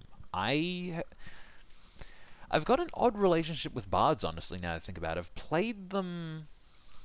Gosh, I think I've yeah, there is a delay. There is definitely a delay, I'm aware. I think Bards... I've played Bards maybe two or three times across multiple campaigns. And I've wound up not... Somnophobia? Aibohphobia? I'm to have to look those up. Um, and I've ended up not playing bards in those campaigns. Alright, let's see what these specific phobias are. I, I like what I'm hearing right now. Some Somnophobia is a fear of the dark, right? Somnophobia. Extreme anxiety of and fear of oh, the thought of going to bed. That's interesting. That's really interesting. Sleep anxiety. Uh, phobia is also known as hypnophobia, clinophobia, sleep anxiety, or sleep dread. That's cool. Sleep dread sounds interesting. What is Dragon Craze? Oh, also, hi, Dragon Craze. What does Dragon Craze think for this character? It's the fear of palindromes. Word are the words that are the same backwards and forwards. that is very specific. I actually really I kind of like this. I like both of them. I I think I'm going to take both of them. Um and we can lean on one or the other, but I'm going to put them both down because I just really like these ideas.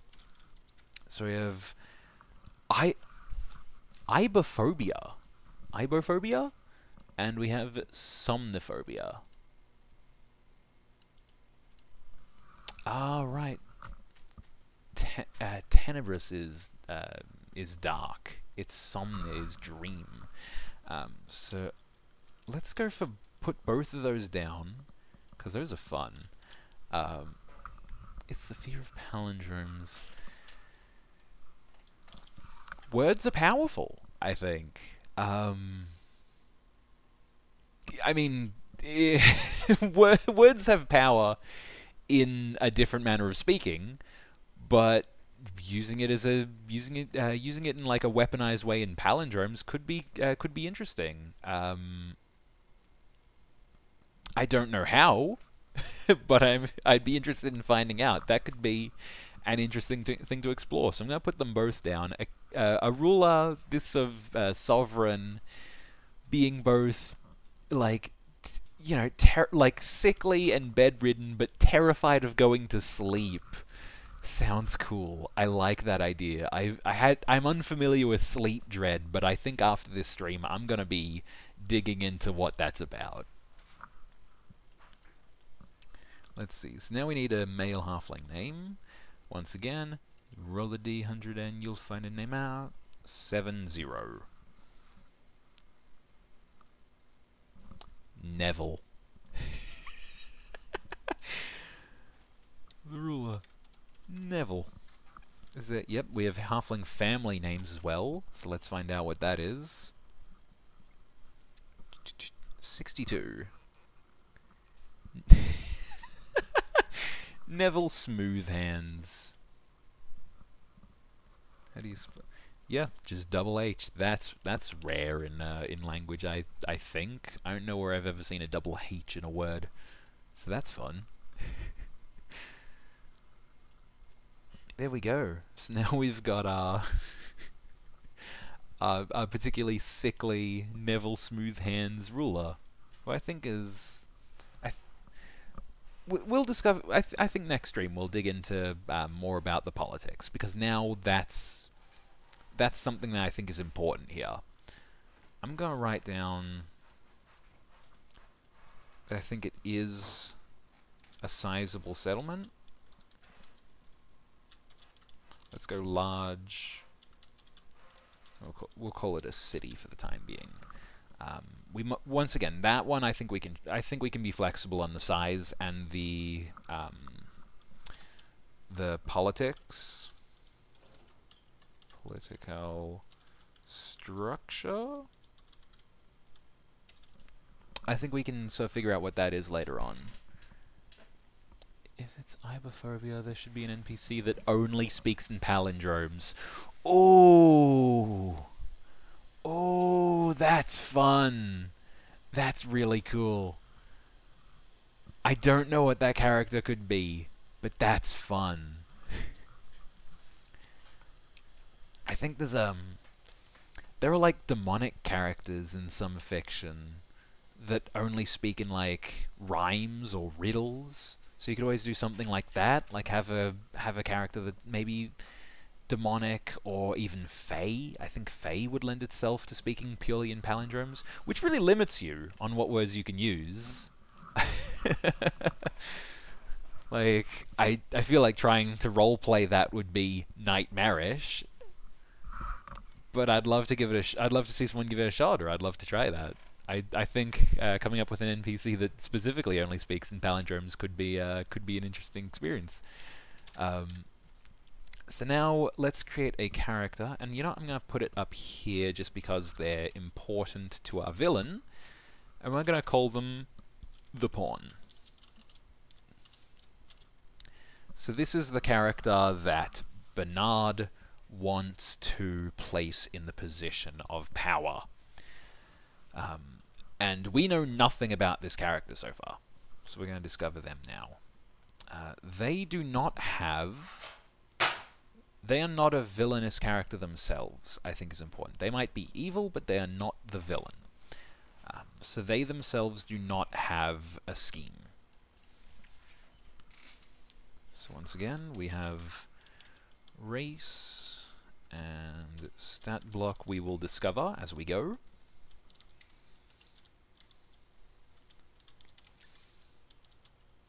I think this could do it. So, we need to up the size.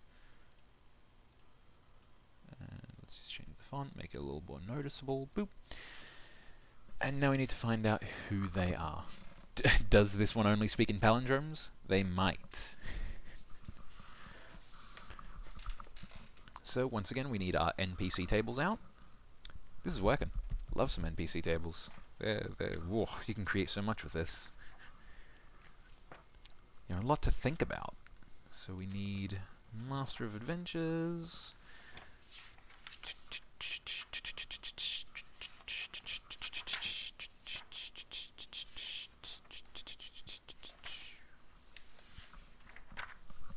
And I'll definitely think over this um, in the time between now and the next stream. And I'll probably, just to be safe, I'll upload this to YouTube as well. I'll export it. Um, so people should be able to watch the VOD later. Alright, let's find out who they are. So, first up, I'm just going to copy all of this and then just trim it back down into what we need.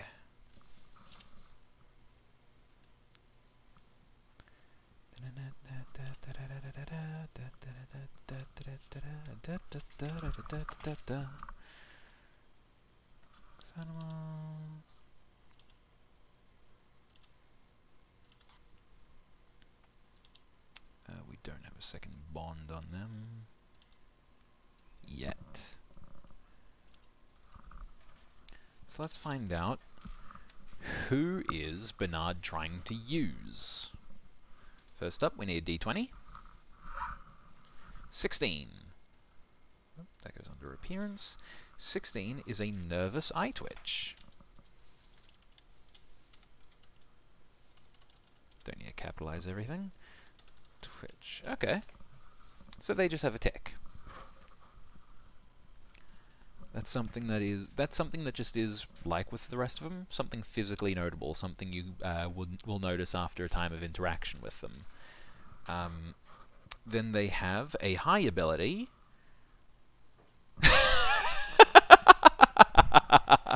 Not again.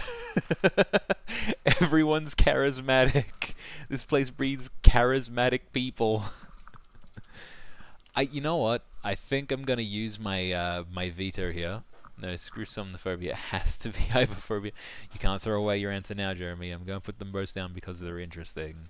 Um, you get you you can't throw out a cool idea and then put it away. I think I might re-roll this one just so we don't have everyone is high charisma. I think this one might be uh, might lend itself to being something else. Um, whether it's a physical or mental stat, let's find out. One. If you've once again, if you've played D&D, you know what a one is. They're strong. Oh, it should be they have high strength. Which in this case means a high strength character is powerful. Physically, not yet uh, politically. So they are powerful, they are brawny,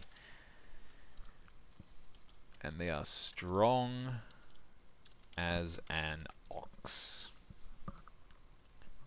So this once again, it's just I'm getting like a Guards! Guards! feel from this, where he's trying to supplant a new king, and the new king will be clad in shining armor with a beautiful gleaming sword, and he will use it on the dragon, and the dragon will go away.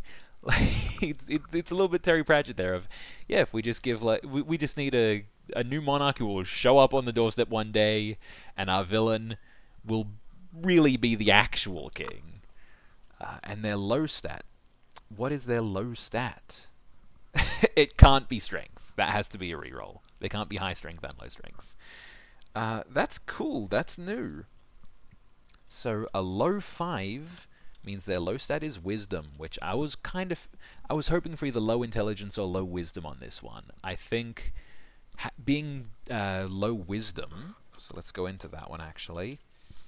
Low wisdom means they are oblivious. They are absent-minded.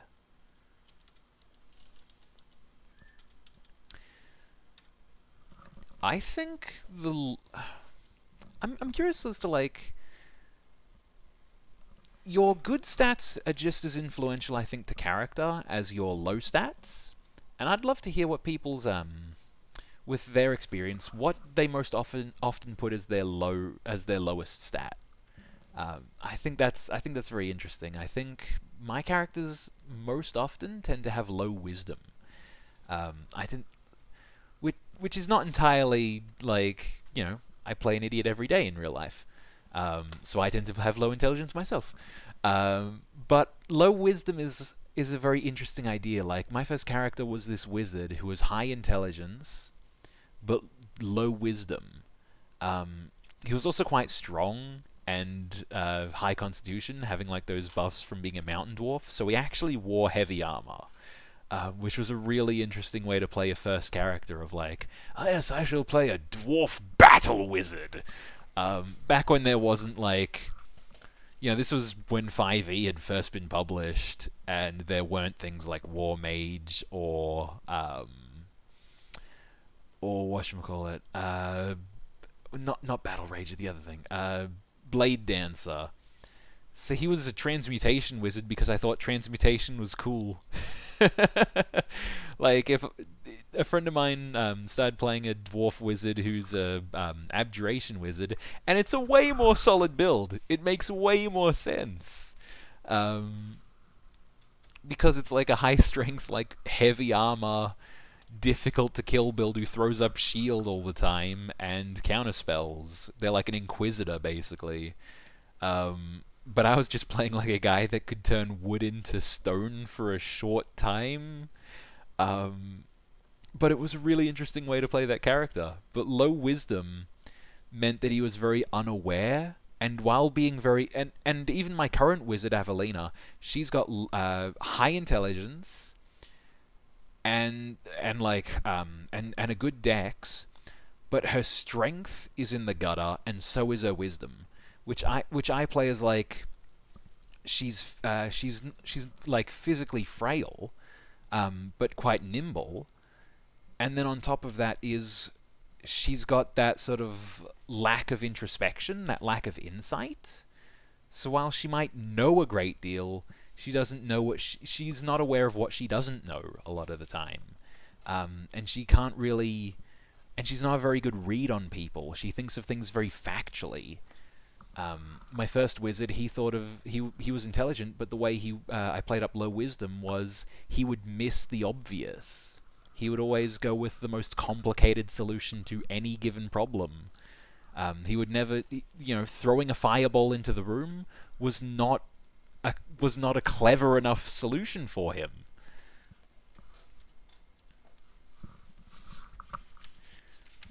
I, I could I could all day I can sit here talking about my D&D characters. I can spitball this forever. But I'd love to know what other people's uh, lower stats are. I once played a wizard who had a negative 2 in constitution um, for a one shot where we were level 14 and I think he had 44 hit points total. he got hit by a uh, in the first encounter we ran into a giant who threw a boulder at him and he hit the floor. I think it was like the first hit of the uh, of the game. Like some people attacked Giant, Giant threw Boulder, Wizard hit the floor. he didn't even get around. Yeah. Very. Uh, you don't see uh, low constitution often. That's why I thought it was very interesting when our monarch had a low constitution. It's a rare occurrence. Um, not a lot of people like it's from like a sort of you know playing smart kind of way. Constitution is always kind of your top one of your top three stats, just so that you have hit points. Like that's crucial in a game about traditionally fighting monsters. So you don't often see people be like, but what if my character is really sickly and frail? you know, low charisma is fun. You know, that can low charisma can manifest in many ways. I've seen that played in in in an abundance of directions where like um that might manifest as they're just an asshole, their personality is very grating and people don't like them. Um, I've seen it manifest in a way that they try really hard and people just and, and like the DMs in it, they just sort of glide off and bounce right off them. Like people don't like them. They don't make much of an impression. My character Gunnar, um, who was a gunslinger, um, his low stat was charisma, and the way I did it was he just wasn't very good at public speaking. He could like any argument he made was good based on like it was anything he did was very logical and it was very direct and to the point and he always made a point of like trying to do what's best for all parties involved being a, like this merchant. And he just wasn't very good at getting his point across he didn't speak very clearly or very well he he kind of talked out of the corner of his mouth and didn't really make a good impression a lot of the time wasn't very good at convincing people of his point of view. And that's just kind of how I played him. But charismatic, but charisma translates to size, and that's what matters. uh, not always. There's, um, I've seen like, and even I think like first edition D and D had this precedent of like, um, the anti-paladin either had maximum charisma or minimum charisma, where their stat would be like 19 to 20 charisma, or it would be 1 to 2. Um, and the way that would manifest is either they're devilishly gorgeous, like have unhumanly beautiful looks, like the sort of Slaaneshi, like too uh, perfect uh, appearance, or they would be hideous, like there would be a grotesque figure. And I don't think that's really how you could play it as like charisma is looks. I don't think it is. I don't think charisma really is. I th I think charisma is more of force of personality. Um, it's your character's sort of belief in in themselves. Like a charisma saving throw is to prevent you from being possessed or banished to another plane of existence. It's kind of like this self-assurance. So I think charisma is very much a mental stat entirely, and it's not tied to the physical. Personally. Yeah. Like, I think a character that's not traditionally beautiful can be very charismatic. It's mostly the way you deliver yourself and, like, the confidence that you have. I think a character can be drop dead gorgeous, like, you know, granite chin, uh, you know, like, incredibly beautiful, and still have, like, a 4 in charisma because they have a hunch or they like you know they don't hold themselves with a great deal of confidence they don't speak well um, they don't maybe they don't have like that like once again bards are typically very cocky um, and like cocky charismatic and like self-assured traditionally. And i think that's part of what charisma is. It's like this sort of self-assurance that you know, you that like this sort of swashbuckling, like not all the time because rogues and uh, not rogues, um, sorcerers and warlocks are also uh, charisma uh, charisma classes, but I think there's sort of this rakish nature to charisma. Now, of course, the pawn. What is their talent? Their talent is roll a d20 13. I don't think we've rolled a single, like, 20 today. That's on brand for me. Ooh. Ooh, I like where the pawn is going. He's a fun character. He, he, she, they is a fun character. so 13, their talent is drinks everyone under the table. Which is really on. I think this person is definitely like. I think they might be a. I'm just getting an image right now, and this could be way off when we get into who they are. But they might be like a sort of local of this town that people really like. I think they might be a well liked person. Um, but they're a bit of a adult themselves. Like they're this low wisdom, like they're not super bright, they're a bit oblivious and a bit absent minded, but they're a huge guy or a huge person, buff as hell. Um, and of course, our town is known for its strong drink of a uh, of laughing spirit. Um, so I think there might be like a sort of drinking culture, maybe. Strength is always the one I care least. Strength is commonly let, uh, left to the wayside. I think strength, aside from like characters that specifically roll strength, like melee fighters or paladins, um, barbarians, I think typically strength tends to get left behind. My last um, D&D game, the one I just finished like last month, um, had four players in it, and all of them had less than 10 strength. They all of them had their worst, uh, you know, a lot of them made characters together, and they all came up with this super low strength party, which actually came up later on in the campaign when they thought they thought that the entrance to this dungeon um, they were just too weak to pull up because I was having to make rolls when it was just a fake entrance to the dungeon and it's like a fake trap door that they thought was just too heavy for them to lift when really it doesn't go anywhere. It's just like a plate on the floor that's every time you touch it it triggers a trap and they kept going for it because they're like I'm too weak. you know? I I saw them all come up with low strength characters and I immediately said like, "Man, you guys are lucky it's Dragon Heist, not Dragon Hoist." Mannerisms. 12. Who is this guy? Who is this man's mannerisms? Prone to predictions. Um, it's 12, right? Yeah, prone to predictions of doom. I foresee my own death, annihilation everywhere. they might be the worst person to put in this position. They might be an easy toady. We'll see. Let's find out their interaction trait. So this is how they will interact, probably with the party. A, a nice baseline for them.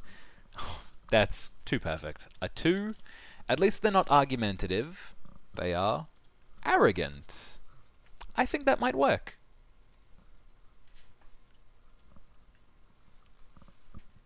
Uh, useful knowledge. We, I wish there was, a, there was a table for useful knowledge. That would have been cool. We can we can play with that later. Uh, so now we need an ideal. Now we need a table to roll on. So we need to pick. We've got a chaotic character. We've got a lawful character. And then we've got the pawn who is being used by the chaotic character. So I think their alignment could be anything at this point. They might be. I think they're probably an unwitting pawn based on the fact that they've got quite, they're an arrogant person. They're low wisdom. Um, I think they're an un, I think they're being unwittingly used by our villain. Um, so I don't.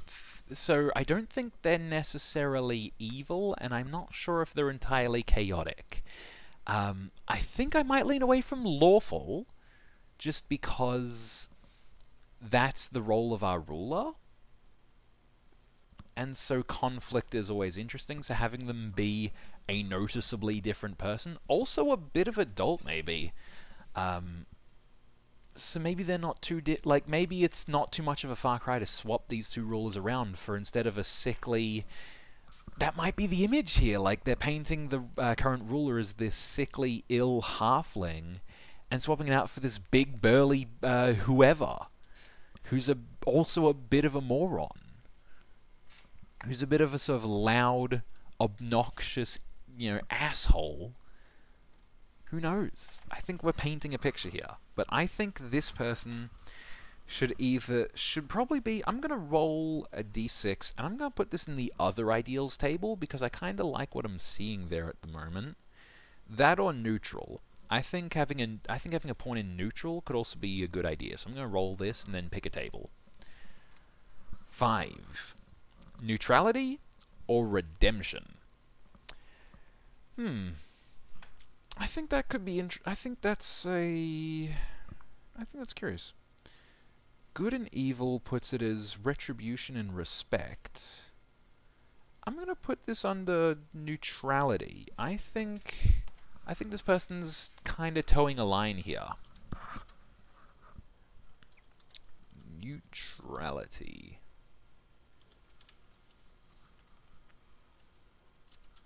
neutrality. I have no strong feelings one way or the other. Tell my wife I said Hello. neutrality on the neutral table. Neutral neutrality. The neutrality for neutral. Kuzco's poison. The poison of Kuzco.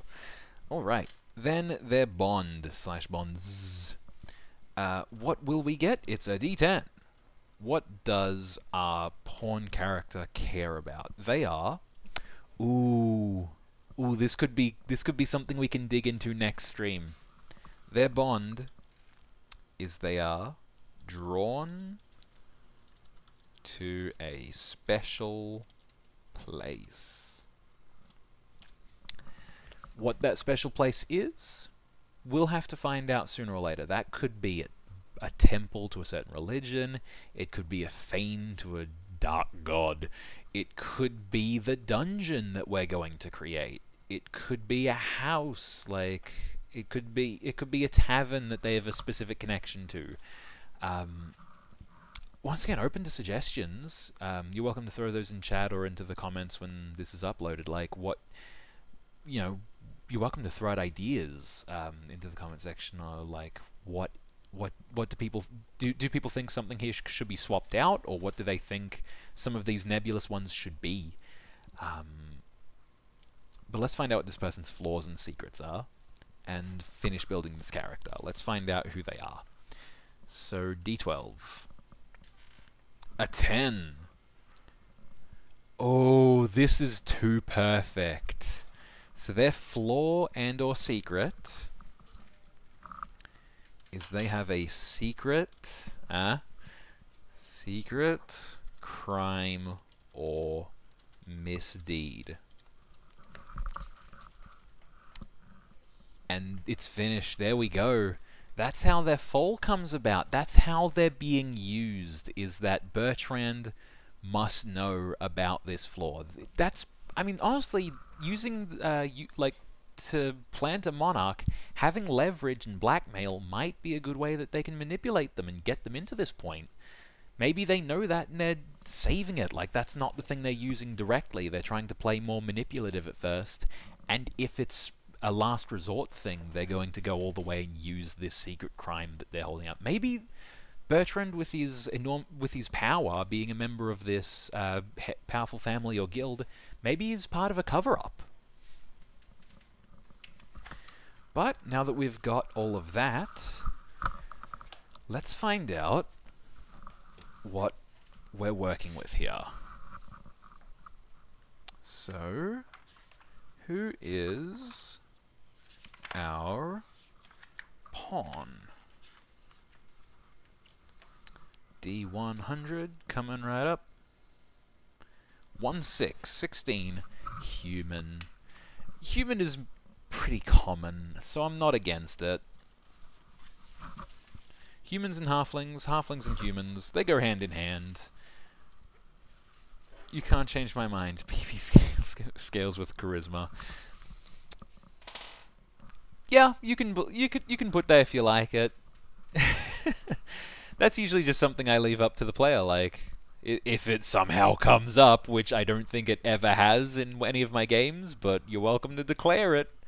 Um, I remember watching High Rollers way back when, like the Yogscast um, D&D Twitch stream, where uh, one of the characters decided, like, what if I roll a d20 and see where that lands me? God damn it, he rolled a 20. It became a running joke that he has an enormous schlong. the next campaign, he did again. No joke. so, we have a human.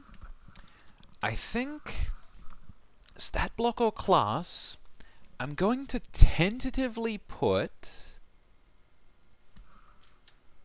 it warrior isn't a real thing that exists in D&D. There's no 5e class for warrior. There's no NPC stat block for it, but it tells you an idea that they're a fighter. Um, which I think this person is. I think there's some sort of fighter. So, you know? Instead, I'm going to put fighter slash and I think we rolled for them to have a high charisma, and I said, no, let's re-roll it, and we got strength. So I'm willing to give them still a few good points in uh, charisma as part of their drop from wisdom, and I'm willing to say they could even be a paladin. I think a paladin um, NPC could be a good uh, a good route to go. Um, being a paladin might mean that this drawn to a special place could be a place of religious importance. Um, so I'm willing to leave the door open for that.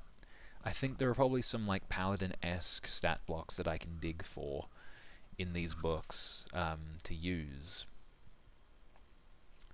But I think I think that could be an interesting way to go. And I might even later down the track, once we're done here, uh, create a temple um, for this town and have that be a place of note. Now that we've got a residence, we've got a tavern, um, maybe a warehouse, maybe I'll throw up a few more buildings in here later down the track, and we can see what are the places of import in this place. Where are the players going to go? Um, and maybe one of them will be a place of religious importance. And I think that once again, I want to get. There are a few things that we're kind of missing here. There's a few building blocks, and I'd love to hear what people's opinions are. Um, but I think a bit of that's going to hinge on the dungeon that we need to create. It could be a place of a dark god that has now stolen uh, our villain's soul, or it could be a place of um, a, a, place of religious importance. It could be heck, it could just be the sewer. that we don't know. But let's find out what our pawn's name is. So we need to roll on another table. It's gonna be something human. I don't know what kind. We've got Arabic human, Celt. You know, we've got a we've got an English human. Let's go for something that's not English but kinda has roots in the same kinda has similar roots. So English is romantic languages. So Slavic's out. Let's let's say let's roll a d100 on the Roman. Uh, did we we haven't decided if this character is a uh, is a male, female, or what? So let's do the same thing. Odd, even. Another male character. Okay. I was really hoping we'd get a few more female characters of import, but we'll have to rely on our heroes. Hey. So let's see what the Roman male table gives us, and if it's something stupid like Marcus Aurelius, we'll give it a reroll. Uh, Roman male, 87. Octavius. Eh, Octavius is pretty cool. That's a big. That, that's a name I'd believe on a big, strong paladin guy.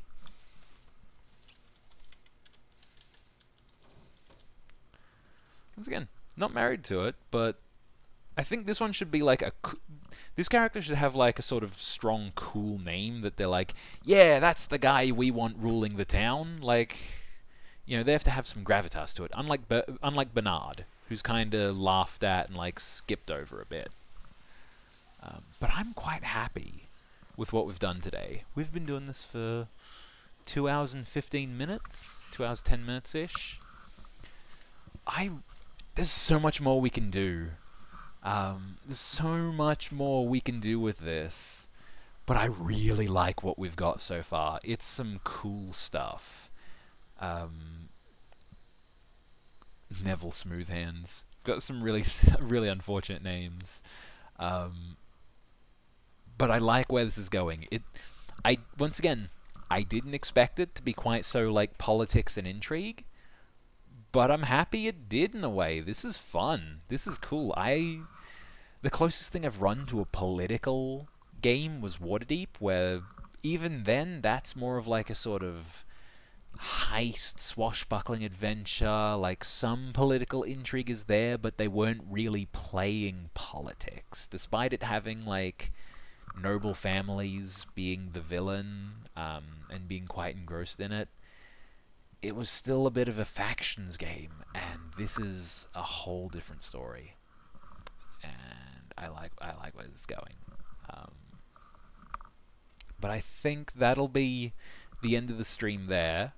I'll I'll see if I can leave the um, the stream ending card up just a little bit so that chat can catch up to the end.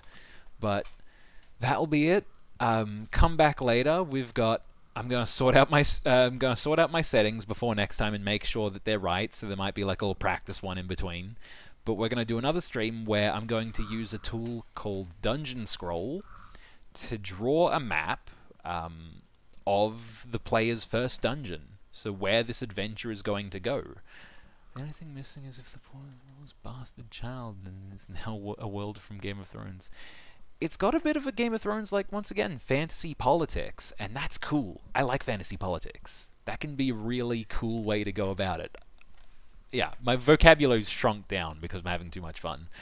Um, but yeah, next session, next time, we're going to figure out the rest of this adventure. So we're going to start by making a dungeon, and that's going to be, once again, as much as we can, rolled on random tables in the DMG, and they've got a whole bunch of tables, and we can just go as far as we like to come up with a town, uh, with a dungeon.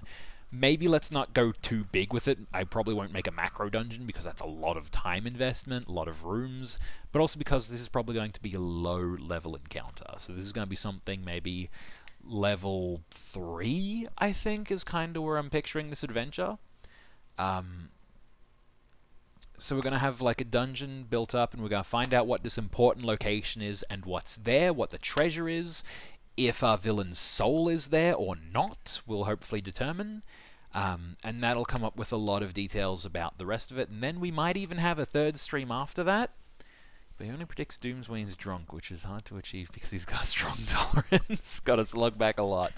Um, so we might even have a third stream after that where the goal is to try and get everything else fleshed out. So try and get more of our town. We still don't have a name for the town, so we're going to have to come up with something for that. I was hoping to do that once we have more details about it, but I'm glad that we at least have our sort of three core NPC characters. Um, now that we have those, we can figure out a lot more. Um, I still want to figure out the political structure. I, I'm a little disappointed we didn't get through enough of the town, but at least the town inspired the people in it. Um, but yes, so tune in for the next stream. Um, I'll be posting. I'll I'll post more when uh, before that happens. Um, hopefully there'll be a video in between now and then, but we'll we'll see. It's it's been a bit of an ordeal to get everything put together, get my computer put back together, but I will see you all next stream. Let me just oh, go back to OBS. Bye bye.